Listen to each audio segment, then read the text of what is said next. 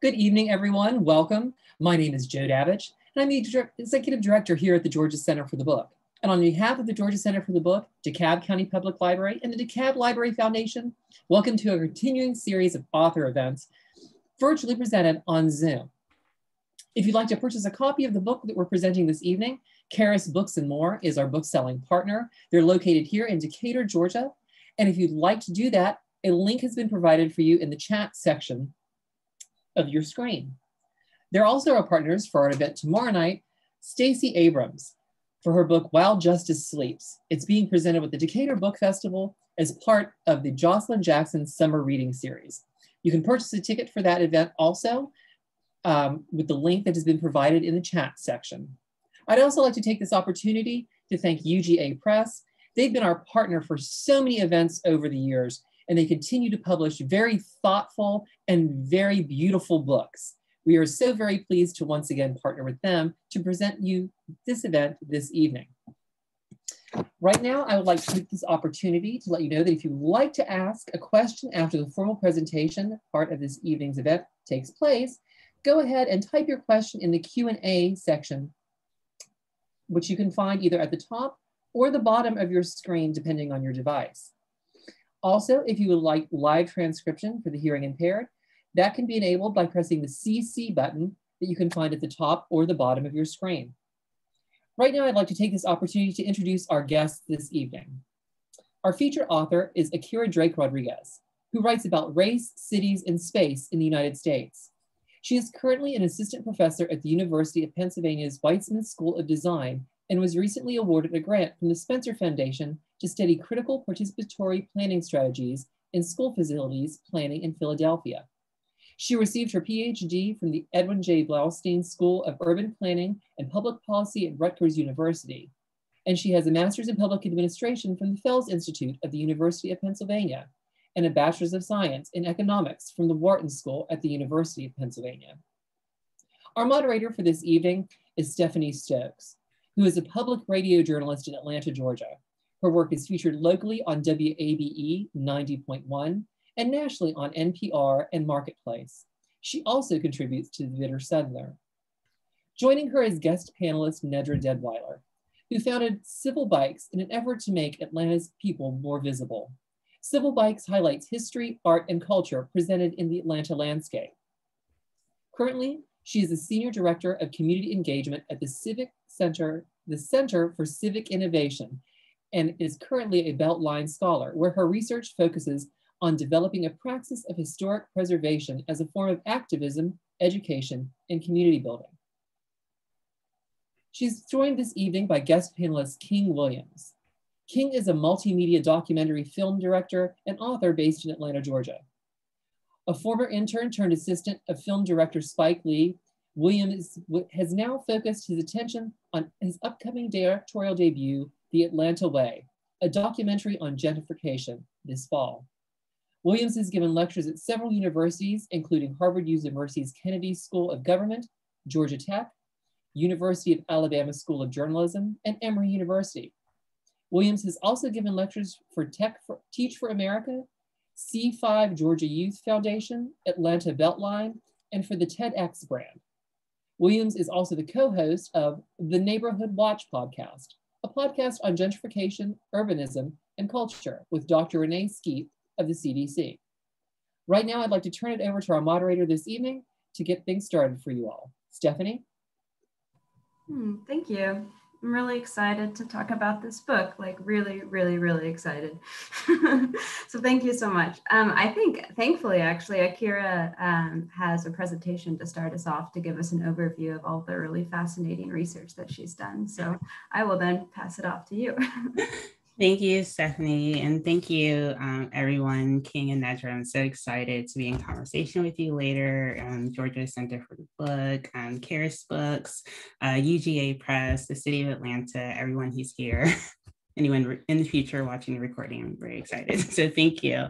Um, I'm just going to do um, a really quick presentation um, to give an overview of the book. Um, and then we'll hop right into um, a discussion from there. Um, so thank you again. My name is Akira Drake Rodriguez. I'm assistant professor of city planning at the University of Pennsylvania, and I'm really excited to present this research um, now in book form, uh, Diverging Space for Deviants, the Politics of Atlanta's Public Housing. Um, so first, I'd like to just start and talk about the title um, and this picture and sort of what the idea of deviance and divergence actually means in this text.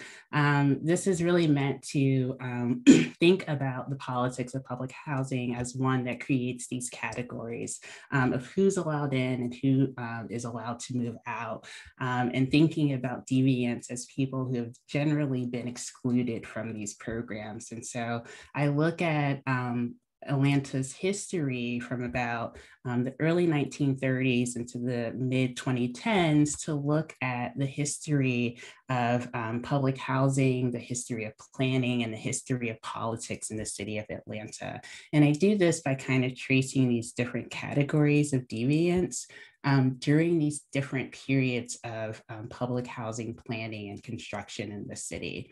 Um, so the book is about six chapters long, and I look at three different public housing developments in the city uh, University Homes, which is the first uh, public housing opened for African Americans in the city in 1937. I look at Grady Homes, which opened in 1940, and I look at Perry Homes, which opened in 1955. Um, all of these public housing housing developments were in different areas of the city, um, and they also hosted different populations um, and therefore excluded different forms of deviance.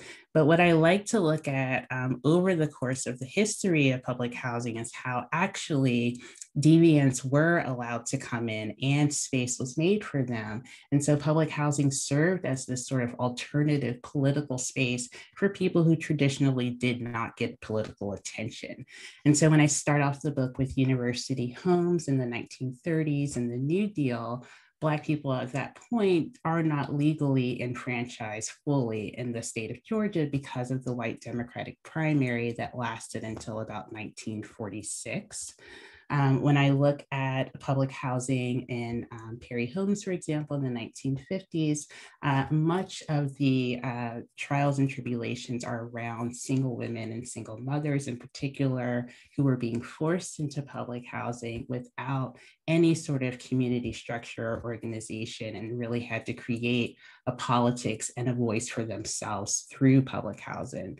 And then finally, I look at Grady Homes and looking at it in the 1960s during a time of economic opportunity in the city of Atlanta, um, specifically for those who were marginalized and disenfranchised. And so I look at the role of Maynard Jackson and the neighborhood planning unit as a way of creating spaces and opportunities for those who are being excluded. The last two chapters look at sort of um, the beginning of the end of public housing. Um, I look at the 1980s. I cover, of course, the, the role of the Atlanta child murders. Uh, nearly a third of the victims uh, lived or were found near public housing developments. And so I look at the critical role um, of public housing and that, that time in Atlanta in constructing a new form of deviant um, and look at how that sort of created a downfall for public housing, actually, um, that was only sort of facilitated by uh, the arrival of the Olympics and the eventual demolition of public housing in the city. Uh, so the book covers, again, roughly 75 years, looking at three different developments and sort of the organizing um, from tenants and those who surrounded the public housing developments in order to create uh, these sort of divergent spaces for deviance. And so when I um, kind of start again with the book, um, one of the uh, first things that I start with is, of course, as a planner, uh, there's a lot of planning maps and zoning maps in here. Um, and so one of the things I look at is, you know, planning kind of tells you what um, land makers and city makers consider to be of highest and best use? What are their priorities? Um, and so here is the first sort of um, set of zoning maps in 1922, introduced by Robert Whitten, who was sort of going around the US to create these different zones and categories in city in which we could organize land uses. And so uh, the uses of the zone, whether it's residential or commercial, um, that's determined um, what area um, could be in, what height the buildings could be, but also includes this idea of a racial component. Um, and again, thinking about highest and best use, with uh, use that's typically residential single family homes, um, and that would be U1.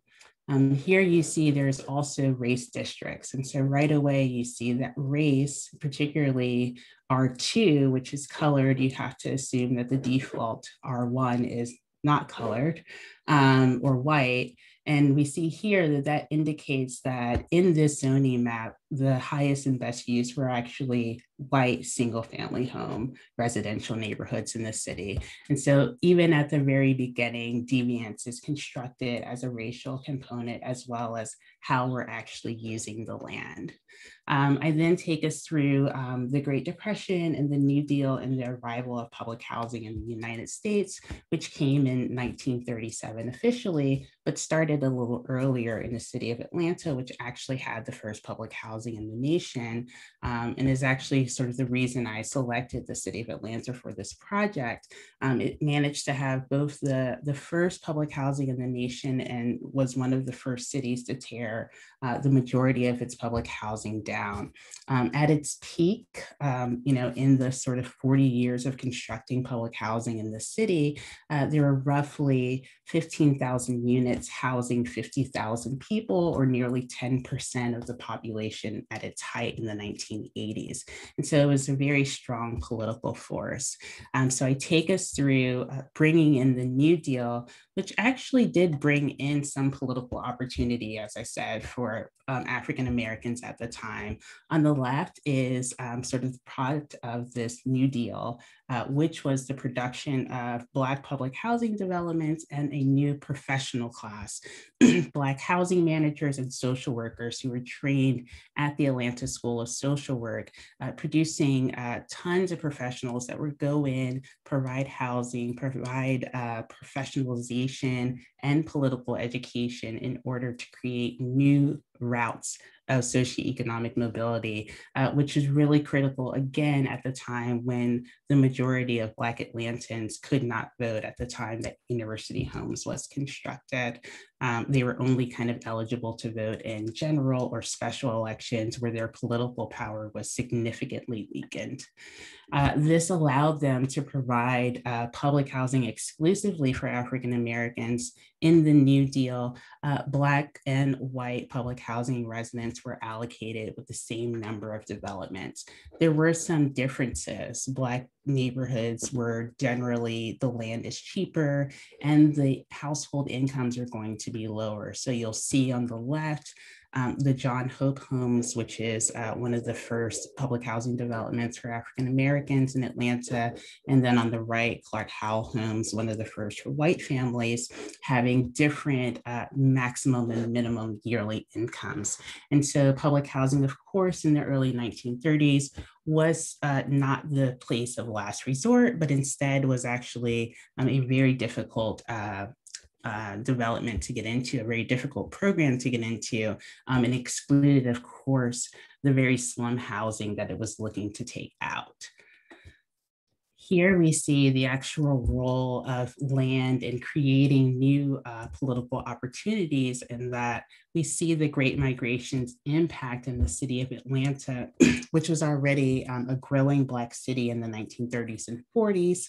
Um, here we see uh, two maps, the 1940 and 1950 census with the darker areas suggesting a greater proportion of a Black population.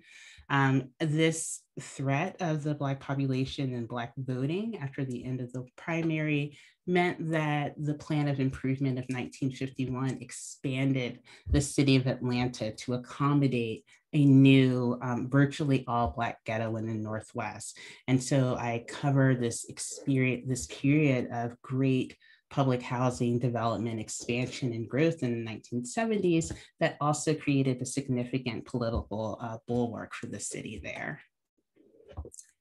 At the time of urban renewal um, in the 1950s, we see a new militarized public housing tenant, um, one that is sort of protesting against management, which is no longer providing the socioeconomic mobility that it once did in public housing. Uh, public housing is underfunded, it is undermaintained, um, it is full of uh, rats and pests. Um, and so women, predominantly single Black women, start to go on rent strikes. They start to exercise a political political power that was not uh, really afforded to them. Here we see on the right Ethel Mae Matthews, um, who is organizing with Emmaus House, um, as well as on the left, Mary Sanford of Perry Homes. Uh, these are two women who fought inside and out of public housing's official tenant associations as a way of expanding greater social welfare and greater programming for those who were excluded. Uh, Mary Sanford worked with her tenant association and the NAACP to provide um, tons of organizing mobilizations to get this spur line going um, to Bankhead, um, not all the way to where Perry Homes was, but it certainly addressed a core issue for this Black women workforce that was traveling by bus to the Blue Line, connecting down to the city center and then coming all the way north to go work in the northern suburbs of Buckhead. And so, uh, although this was a nearly 20 year battle, it did certainly come um, directly from the experiences of these tenants um, and their, their uh, peers that surrounded them. Here we have Susie Laborde, who is a matriarch in Grady Homes, really pushing out the economic opportunity program um, in the city of Atlanta, particularly the East Central location. Here, she created a drug rehabilitation center, farmers markets, daycares, and several other uh, spaces and places for a largely ignored population, um, the sort of disenfranchised and demobilized population in public housing during the 60s and 70s who were faced with little socioeconomic mobility as jobs continued to flee north to the suburbs by the 1980s, public housing is getting a negative um, connotation at the national level. Stephanie and I were talking about the myth of Pruitt-Igoe, which was uh, demolished in 1972 very publicly in St. Louis. Um, and so now public housing has this image as human file cabinets that are set to explode. Um, in that sort of national uh, narrative at the local level, of course, the Atlanta child murderers putting plenty of attention on public housing and plenty of attention on mothers. Um, and so the idea that you have these dueling sort of responses, the Bat Patrol that was very visible and masculine and performative, and Stop, which was about mobilizing, organizing, finding safe spaces for children, and actually reclaiming um, the Atlanta child murders as sort of these children who required care um, and not suspicion. In the 1990s, the arrival of the Olympics and the announcement of Atlanta as the host is the official beginning of the end for public housing. In the 1980s, the city was already looking to sell the land underneath public housing um, and use it to expand the convention center, the downtown connector, and other things that were making money in the city. Uh, public housing was seen as non functional. At that point, many of the buildings were 50, if not 60 years years old. Um, and it seemed like common sense to find a new way to deal with concentrated poverty in the city. Um, this is actually Ethel Mae Matthews again. She's in, she was fighting the whole time. um, and so, and this is Columbus Ward, who is still very active here in the city. Um, here we have the program Hope Six, uh, which actually got a lot of support here in the city, um, both from former executive director of the Atlanta Housing Authority, Renee Glover, um, but also from local mayors, Mayor Jackson, as well as um, we have a lot of sort of national um, uh, people who are very much in support of the program. Um, but Hope 6 was very much piloted here in the city of Atlanta um, and showed that uh, public housing could be done in a new way, uh, which meant lots of sort of public subsidy and private development and um, kind of getting public housing off of the books. Um, and so part of Hope 6 allowed um, the state to sort of get rid of the cost of public housing and the burden of that cost by privatizing and redeveloping it under new private ownership or management. Um, and so this is sort of the end of my presentation, which was where the book actually started when I saw this article in the New York Times um, talking about the demolition of um, Bowen homes here, um, thinking about um, this new way and this Atlanta way, which I'm excited to hear King talk about as well, um, and thinking about how does this sort of demolition really impact um, not only sort of the housing market of the city, we could talk a lot about that, but also just thinking about the politics of the city um, public housing served as a political space for certainly working class, but even sort of deviant interest in the city. And so moving forward, thinking about uh, with this loss of public housing, what, what are the spaces and, and who um, are the organizations that we can look to to replicate some of the benefits that public housing provided during its history. So I will stop sharing there and open it up for our discussion. Wow. Those are great questions. I feel like we should just start with them. uh, wow, what an incredible overview. Thank you so much. Um, you know, I think it's interesting that your your book looks at how public housing can include these types of these people who have historically been marginalized in the city. Um, because at the same time, your, your book documents over and over again how public housing development excluded those people as well. And I was thinking even in the beginning with um, University Homes, the first development for Black residents in Atlanta, um, that that um, replaced a uh, I guess it's slum, the Beaver Slide community, and you mm-hmm. say that they were not included in the planning process at all. So yeah. um, I'm curious about that tension. How did um, the residents sort of overcome these active efforts to actually exclude them from these developments or the, the planning and future of these developments?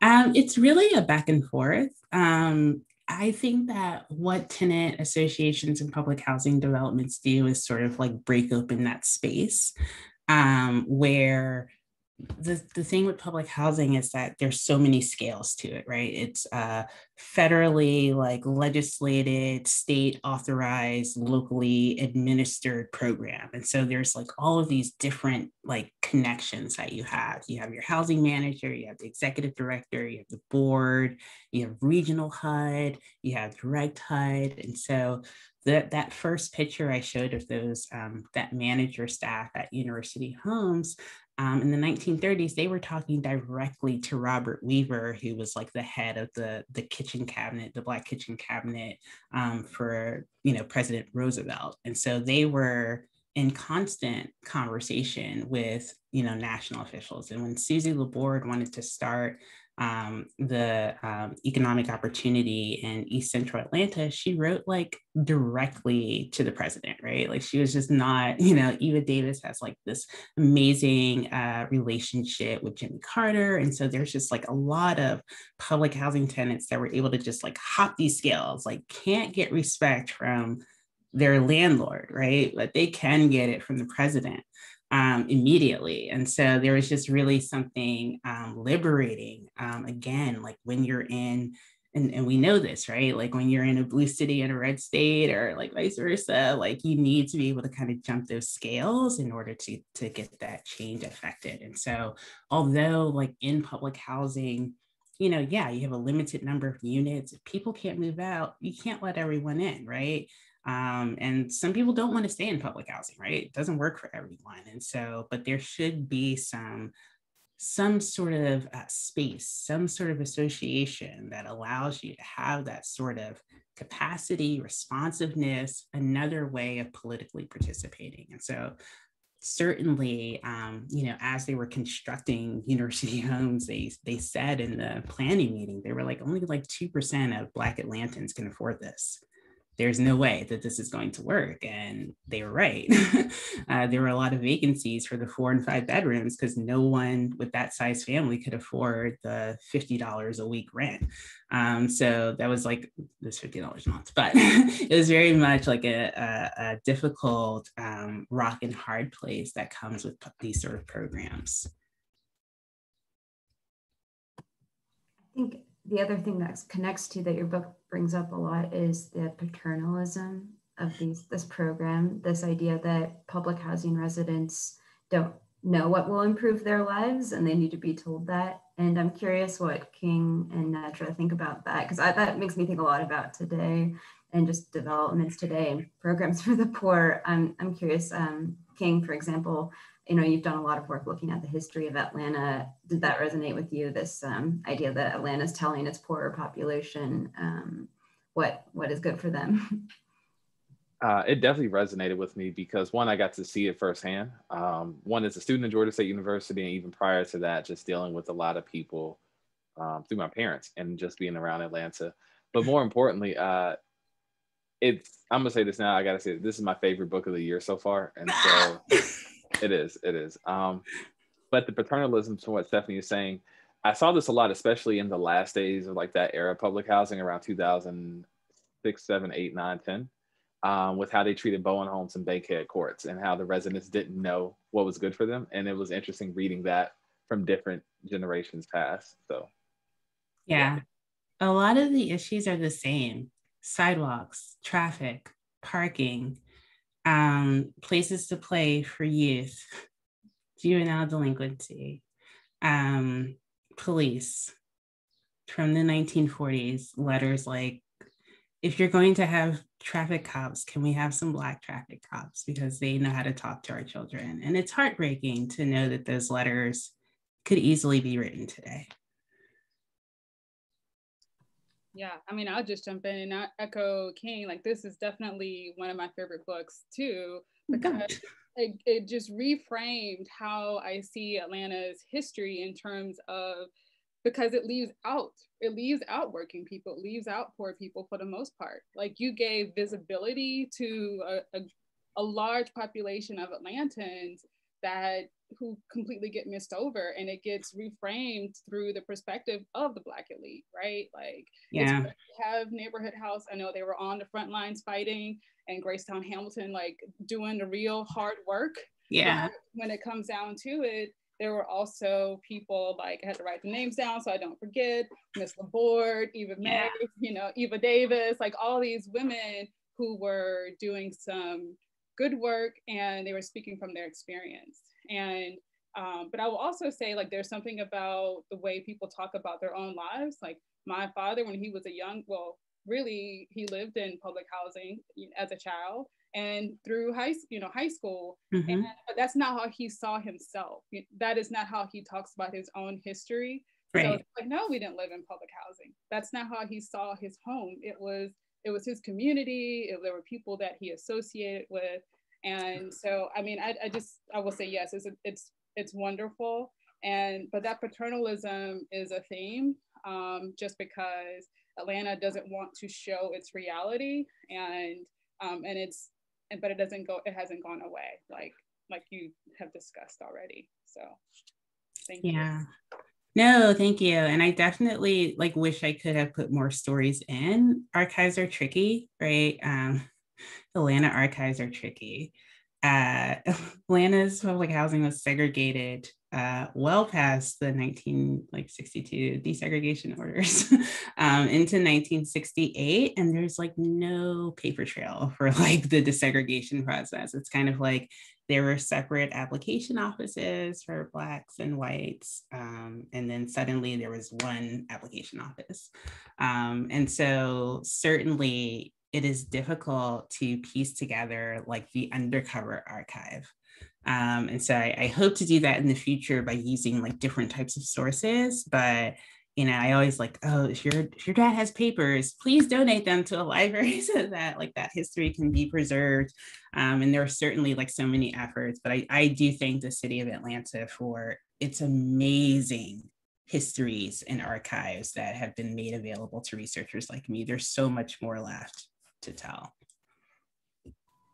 There's already a question in the Q&A that I actually think um, you'll have an interesting answer to. Um, Caroline asks, how come our public housing in the US doesn't offer ownership to its residents like public and social housing in other countries? She mentions Singapore as an example. Yeah, so many reasons, but it actually did.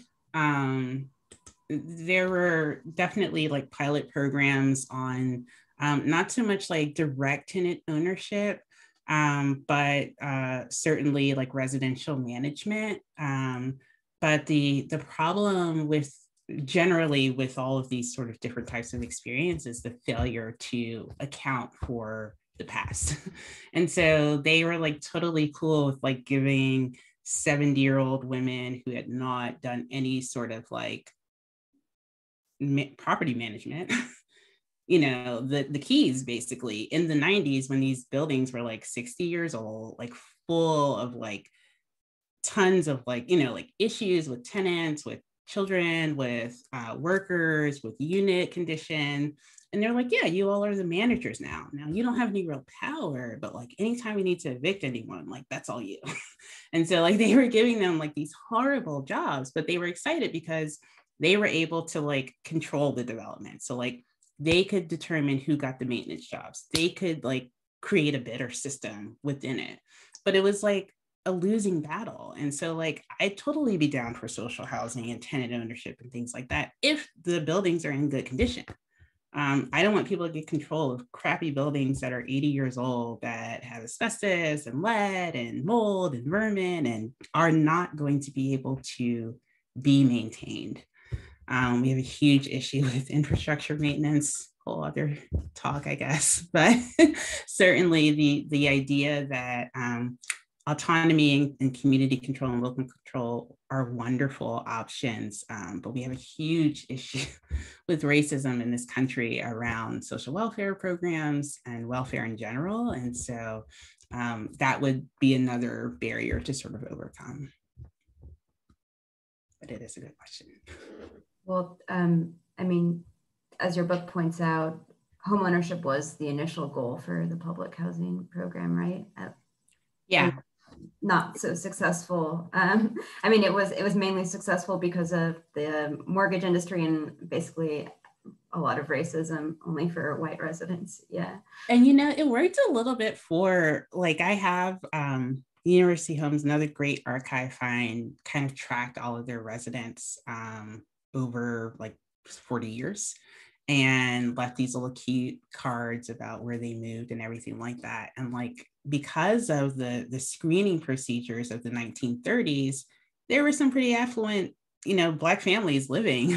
Some that were like kind of kicked out because they were over income, but there was really no place for them to go. So like once the private market did open up just a little bit, there's like a quarter of public housing like pieces out for the private market. Um, but yes, certainly like racism, hard stop keeps you out of the the home ownership game. Um, and then by the 60s, it's it's totally done. Um, so the mobility is gone, but it you know, I found that actually like the most active tenants, particularly in the years that King is talking about, like in the late like 2006, 2010, most of them had left public housing and owned homes and came back. So they were like, eh. you know, they were like, this is like fine, it's great, but there's no community. Like, you know, Sandra said, there's no community. Um, home ownership is a pain, right? Like hot water heaters, property taxes, like long commutes, like who paved driveways? What? Like know it never ends.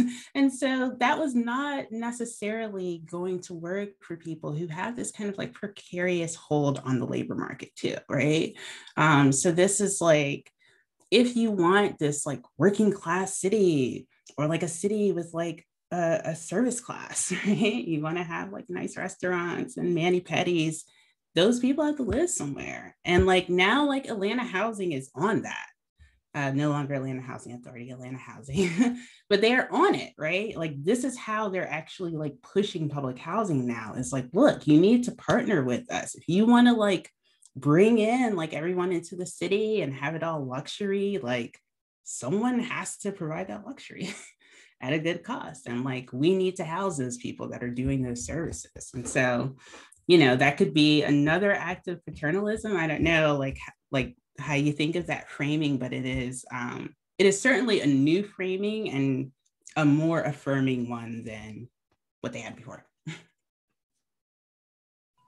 Um, another theme that comes up over and over again over the decades that you cover in your book and that I think is still very relevant today, so I'd love to hear everyone's thoughts about it, is um, how um, uh, a lot of these programs set out to help a low income community, but then ended up filtering out what they considered the best of the residents.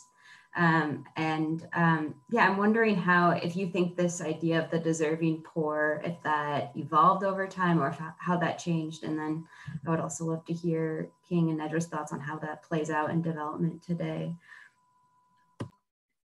Yeah, certainly the deserving poor is is a is the flip side to deviance. So if we're going to like keep creating these different categories over time, you can certainly see it becoming from like black entirely to working class to you know non-working to contact with the carceral state and so on and so forth. Now people experiencing homelessness. And so certainly i think there are categories within categories. We no longer have affordable housing we have workforce housing. So same two sides of the same coin i think did, tenants associations, did they help push up, push back against um, those standards and open it up or did that change over time?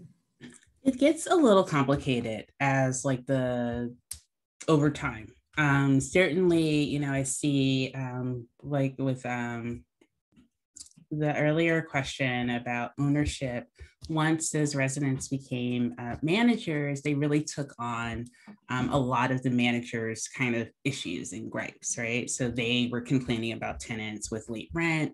Um, they were, con- you know, complaining about drug use and a lot of like too many strangers hanging around. And so I, I definitely think that um, spaces were made based, like you said, on their own experiences. So they were certainly, you know, worried about the safety of elderly versus, you know, the um, recreation and employment opportunities for youth, right? Because those youth are kind of scary to them. And so there was definitely, you know, those sort of tensions within the the, the tensions uh, over time. Nedra, do you think that today um, we are still picking and choosing who is allowed to be included in, you know, the development process, the political structure? Um, I will say I think that is the case in a sense um, that in I will say like in public meetings, right? And and there's a lot of community engagement happening. You go to a meeting and it's asking you where should this trail go or where you know what should this sidewalk look like um, there's always technical language, technical imagery, technical, or the people who are in it aren't reflective of those who are in the neighborhood. There's so many levels that keep people from going to um, those outreach moments where they could say give a voice or opinion. They may not feel like they're qualified. Um, that's like one caveat to who's not participating and maybe some reasons why. Um, but uh, and I will also just want to point back to something you said earlier, Akira, around like um, the siting of Black neighborhoods. You know, Black projects as well as Black subdivisions in the suburbs are sited in the same way. So it's there is no access to um, public spaces. You know, be it recreation, be it a grocery store, be it um, schools. It's a it's a far commute. So that isolation, the isol- people, yeah, of course if you're used to living close in close proximity to people and that network, um, being away from that is uncomfortable. And but I think that's you know that goes back to that community engagement too. Like I think it's all it's all connected to each other. Yeah. Yeah, for sure. Yeah, I definitely think that um, the the issue with the, the distance is another complexity because of women with children um, with school age children and the issues of you know performing care and keeping you know siblings in the same school and being able to like walk. And it is overwhelming i think um, these sort of um, calculations that women, particularly nowadays, are having to make um, to navigate the housing market and the, and the loss of public housing. You know, women that I've talked to have they kind of experience um, homelessness as part of their housing search, um, which I I don't know. I that leaves me speechless, which is rare. um, so I don't, you know, I understand that public housing was not great, and the condition was bad, but I cannot imagine having to absorb that experience as part of, you know, like this is part of housing. This is what the housing market is. And I think it's kind of common. Like I wouldn't just say just women with children. I think it's a fair number of Atlantans that experience that. Um, yeah, I think King, I was going to um, ask you about the, you've done a lot of work looking at the, the, the, demolitions of these projects. And I think that's where we especially look at who gets to stay, um, who is, who uh, gets pushed out because of past criminal records or um, uh, I don't know, some, as you point out in your book, Akira, evictions suddenly start happening near the end of these projects. Um, King, what did you find in your research about what qualified people to be allowed into these more exclusive mixed income developments? Um, first, uh, I want to go. I wanted to actually answer the question you asked earlier, um, and I wanted to get just make sure I had it, but I'll answer this one first. Uh, what I saw was this notion of the deserving poor, kind of what Akira was talking about, continue to play out um, especially towards the end of public housing, it became a lot more of tenants complaining about, you know, small infractions, um, especially against their children, especially amongst like if they had a nephew or a son, mm. um, that was often getting them kicked out and had this this circular effect where, you know, if the son got in a fight at school, that particular fight would then be used against the mother to get them removed from housing. That was something that happened a lot in Bankhead, of course, the last few years that it was open. Um, and then also something that happened a lot was this notion of especially in the last years, they just stopped allowing people to come in to public housing. So like a lot of the roles, they just kind of let it go on. And it was a general purge. And so a lot of people were just afraid of general purge. And so if a woman had, case in point, this is one of the things we saw a lot in the last days where a woman might have a domestic dispute where she's in good reason to call the police. But because she calls the police, at that point in time now she's also kicked out of public housing because now she had a domestic dispute or she had a man who shouldn't have been there after hours and so it just became like this evergreen problem for no real reason. And so it kept a lot of stuff going on that shouldn't have been going on. And it was really really it was really unfortunate because you can just tell at that point in time that the outgoing administration um, was definitely intent on getting people removed as, as quickly as possible to get that development going.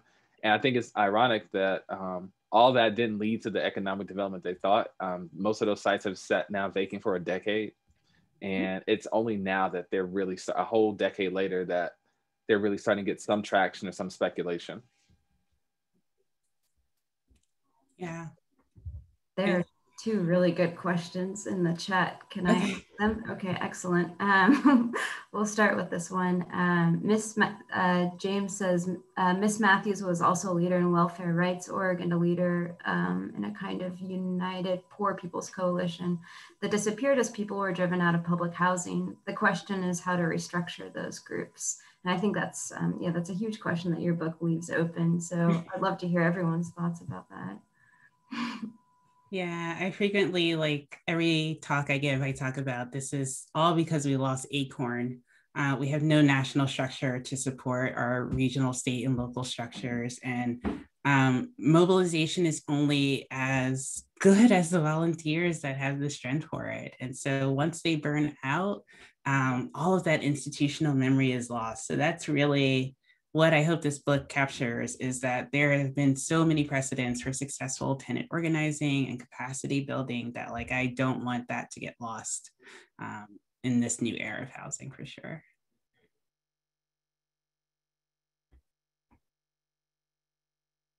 Uh, can I add one thing to that question, if you don't mind, Stephanie? Uh, which is, I think we're going to start seeing that come around again. Um, this is more, it is a kind of a national trend that's also reflective in Atlanta. I think we are starting to see like Housing Justice League and just a lot of like the students I see from like Georgia State and what happened a few years back uh, with the, the tent city. Um, I think we're getting a new version of that kind of activism. I think it's going to be a little different in the sense it's probably going to be more decentralized and it's going to be more sporadic. Um, but in terms of addressing it, I think the future is these groups are probably more likely than not going to be sporadic and also very, very like hyper focused because we don't have public housing anymore. So it's likely going to be, you know, whatever the Housing Justice League equivalent is going to be in Smyrna or mm-hmm. in as far as Gainesville. And I think you're going to see a lot more of that versus like a big tent organization. And it's going to be about maybe housing for seniors or housing for families or housing for women with children. So I think that's going to be the restructuring, and that would probably be what the focus is going to go. And that, oh, go ahead. No, I just think that's like I think that's amazing, right? Like I think it was probably um, wrong-headed at the time for public housing to be developed strictly for nuclear families. Um, that that is not necessarily a sustainable category over time, and also that that may not be the best way to gain mobility. Um, and so as much as we can do for like when with like special categories like that, but also kind of like more fluid ones, you know, like there's never like any housing for single men, which like I don't want to like hop on this soapbox, but it's certainly like you have like all of these like categories of people of need that just go totally under the radar and um, it would be like an easy fix and so and not like a tiny home but like a sustainable program um, and so certainly, yeah, I, I do agree that I do think it'll, I hope that it'll change and shift and become much more dynamic instead of kind of a one size fits all. I, you know, we need different, like the first question, we need different time types of housing. Apartments don't work for everyone. So you need some social housing, you need some land trust, you need like multiple forms. Sorry, I'm trying to cut you off. Not at all. You had a, that's a great, those are great solutions and ideas. And I, I really just wanted to add the idea, um, museum studies person, he said that remembering is a radical act. And the fact that we don't have these narratives readily, readily available, we don't have anything to go back to or to remember or to even model. Um, and just to touch back to what King said around networks, it's like we've just had mutual aid out the wazoo from last summer. And so like having networks come together and alive again and come together, um, people are communicating. So mm-hmm. being able to design housing, to think differently, we have we have more opportunity and imagery available that is necessary. And and you know the other thing about your book that I really like is that it sparked my imagination around housing, around political activism, around what a leader looks like, um, because we do you know, we look at leadership, it still is someone who is charismatic. And that's not necessarily what leadership is. There's just like one type of leadership. Right, right. I think um, Akira's book also shows these how these physical spaces become places where this tenant organizing can happen. And Nedra, I'm curious about what you think about that um, now. Like, what spaces could serve that role today? Yeah, um, um, I will say so. Over two years ago now, I was doing the summer. There were some students who were part of um, uh, tenants, like a young person's tenant tenants rights activism group, um, mm-hmm. part of Housing Justice League, um, and and that apartment complex is now torn down, Forest Cove. So and those students were looking at their apartment complex, and they they came on a tour with me through the Beltline, uh, 04th Ward, to look at that Beltline community and what development did for their community and how they could prepare their community um, for the Beltline coming through their neighborhood. And so um, being able to um, have access, you know, realizing you have agency, having like your book also provides language that is around justice, that's reparative, that is uplifting of the lived experience of poor Black people that doesn't always happen. So to be able to, to be empowered in that way, I think it does create spaces. You know, it allows for people to not feel this sense of shame which, you know, like again, my dad said, I didn't grow up in public housing, but you did. so many people did. It's fine. Yeah. It's great. Yeah, you don't have to be in denial of that experience. And so, um, so I think those spaces are, uh, you know, back to King's point, it's in so many ways because it's digital, it's uh, new networks, you know, coming together to put hands together to work are just um, some ways that that is forming. So uh, I think language provides a, a, a space that is necessary. We have the big question from Michael Leo Owens of Emory University. he says, for the entire panel, thinking about the Atlanta case and the book's arguments, how should we judge the city's modern history of Black political leadership, especially in relation to public housing and poor Black people? Who would like to start? Why is he asking this question? Thank you, Milo, for such an interesting question. Um, I think we could, um, I, you know, we judge the history. Um, it's kind of a work in progress. Um, I think the people who kind of live in public housing should be the ones who judge. Um, but I will say that certainly, you know, the archives are really deep and I, I kind of want to bring up King's point about the the empty land because they knew that was going to happen. Um, Atlanta Housing did, and they actually didn't want that to happen. Um, there are plenty of um, first round applications for Perry Homes, for example, which I imagine is one of the vacant areas um, that says like there is no way we can do market rate housing here. So we need to like if you don't want to replace all 1,000 units, then how about we, we just build 600 um, and, and that's it, just rebuild it. Um, and the regional HUD office was like, absolutely not. Like, we're not doing that anymore. We're off that. so like find some, you know, like they had the the planners did the site and the market analysis, and it's like there's no way these census tracts can support, you know, market rate housing, a grocery store, any of these things. And regional HUD said no. And so Atlanta Housing had to rewrite their um, application or they weren't going to get any money. And so eventually it was like 400 and 300, 200. And now, you know, it's something that's like they redeveloped it, but it's not there, right? It's like the household income is not there. They are going to do some speculative development of townhomes for, you know, half a million to see how it works, but it's not, the market isn't there. Um, and it's, um, yeah, so I don't, you know, it, it's hard be, with the leadership because you can only do so much in the city. um, it's a city for growth. Um, it's a city for business and it's a city for just you know money and so it is very hard to sustain this like robust impoverished population and like a robust policy imperative around that impoverished population. Um, and so that to me is um, both part of the structure um, and obviously there's some agency of the individual politicians um, involved. But I think overall for Black leadership, um, given how dependent they are financially on developers and other sort of um, business interests, it is very hard to have a Black radical um, policy agenda that would address the needs of public housing in the ways that it needed to be addressed. I'm gonna give you with that one, Milo. uh, okay, so I want to add one thing. One, Milo, you always ask good questions, so shout out to you. Um, so I want to, your question is kind of like a little bit complicated, so I want to break down a few parts of it. Uh, one of which is how should we judge the city's history of Black political leadership, especially in relation to Black public housing and poor Black people? Uh, one, I think we should grade all Black political leadership on what they do with what they have at the time. Um, one of the things I think is very important for Atlanta, both inside and outside, we look to Atlanta as effectively not just a Mecca, but we look to every Black leader as the savior of Black people or the the representation of what saviorship could look like. I think that's very dangerous, right? Uh, we can go off on the whole tangent on that, but I think that's important to to, to specify when we talk about Black political leadership.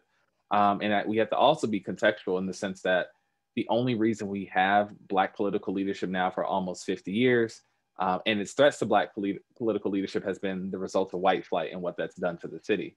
And so, with that white flight, um, it also effectively handicapped most of our Black political leaders, especially Maynard Jackson, who which gets into the, the actual meat of your question, Milo.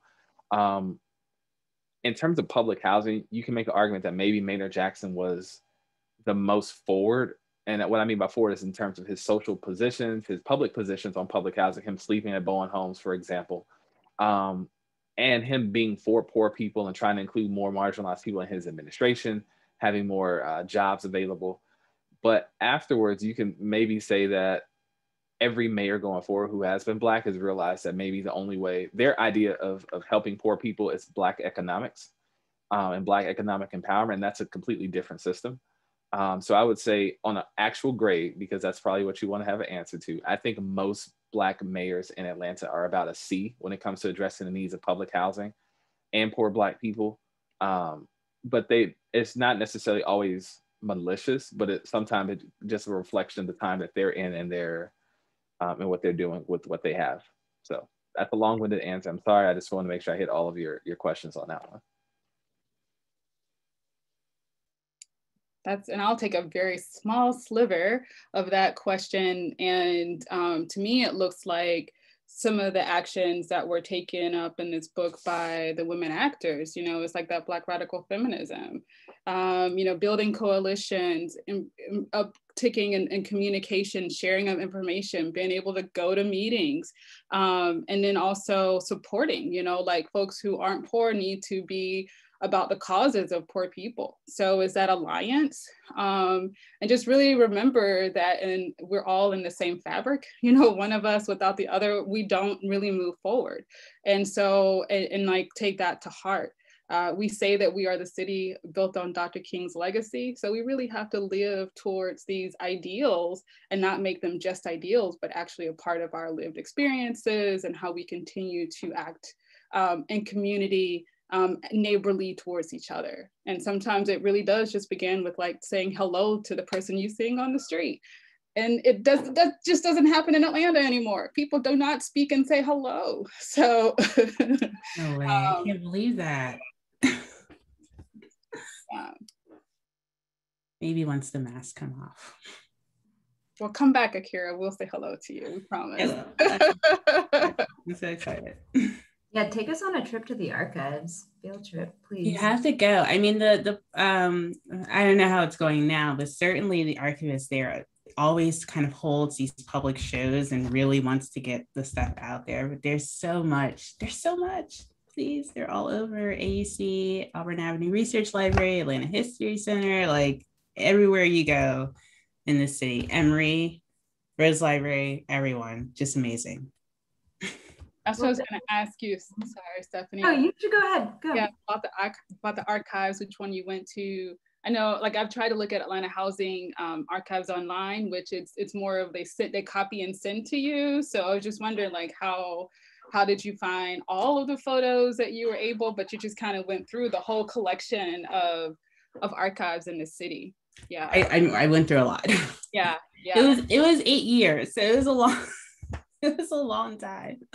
But yeah, I went and I like I said, I didn't even scratch, like I didn't get into demolition and like the actual part of it. I really had to like pull back. Like the Olympics was enough to just take me out. Um, so it is so much left to uncover in that city. And I, I really hope that people take advantage of it yeah, I hope we can all have a public event together once it's safe to do so and you feel like traveling. I got my second shot. Happy. this has been really fun. I think we're basically out of time. And yeah. I will pass it on to Joe. Thank you. Thank you, everyone, so much for contributing to this discussion. I always find Atlanta history so fascinating, and, and um, you know, Atlanta is going to continue to develop you know, we're going to hear more about attracting businesses and, and you know, um, movie studios and things like that. And, I don't think that these discussions are going to stop. Um, but you know, I would like at least for those involved in them to use a bit of history to give a little bit of foresight, you know, before we start demolishing and rebuilding the, the way we seem to do things in Atlanta. It's like, you know, there's always a wrecking ball somewhere. But once again, thank you, Nedra. Thank you, King. Thank you, Akira, for your wonderful book. And thank you, Stephanie, for being a wonderful moderator this evening and starting us off with some unbelievably thoughtful questions. If you'd like to order a copy of the book, once again, we've put an ordering link for Charis Books and More over in the chat. We will be on again tomorrow night for the Stephanie Abrams event for the Jocelyn Jackson Summer Reading Series, and you can still have time to purchase a few tickets also from Charis Books and More. Thank you all so very much for inviting us into your homes this evening. We will be back and see you again very, very soon. Have a wonderful evening.